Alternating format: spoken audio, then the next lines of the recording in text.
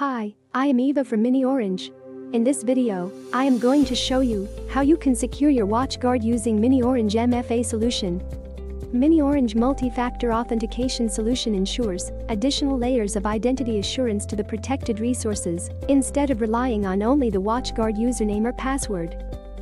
miniOrange provides 15 plus MFA methods like OTP over SMS or email, SMS with link, push notifications, Google Authenticator, Microsoft Authenticator, hardware tokens, phone callback, miniOrange soft token, and many more.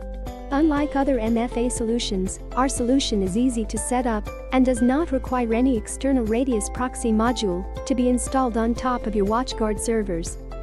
User submits his username and password, which is accepted by the miniOrange Radius server as Radius request. The user can be validated against any user directory like Microsoft Active Directory, Azure AD, OpenLDAP or you can keep users in miniOrange user directory as well. After the first level of authentication, miniOrange prompts the user with two-factor authentication and grants or revokes access based on the 2FA input by the user. In addition to the 15 plus MFA methods, MiniOrange also provides risk-based authentication methods, which are authentication based on IP restriction and authentication based on time of access. MiniOrange can provide restrictions on basis of user attributes also, like groups and many more.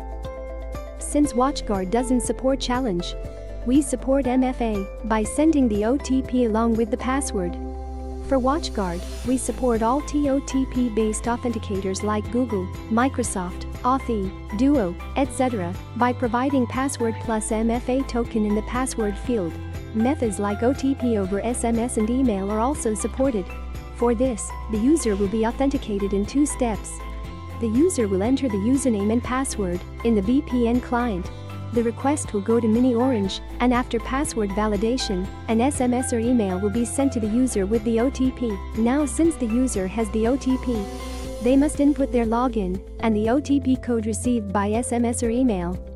In this way, miniOrange supports a plethora of MFA methods, even for VPNs that do not support challenge. Additional features like Radius accounting and Radius auditing are also included in the miniOrange features stack. This allows the administrator to keep track of the WatchGuard usage of the users and all of their login events. Along with all these additional features, we at miniOrange make sure that you get all of this with the best in-house price and 24-7 real-time support. Here at miniOrange, we strive to rid the internet of security vulnerabilities that may damage critical information and resources. The problem is widespread, but the solution is one. Please feel free to reach out to us on email or in the comment section below, and we will get back to you at the earliest.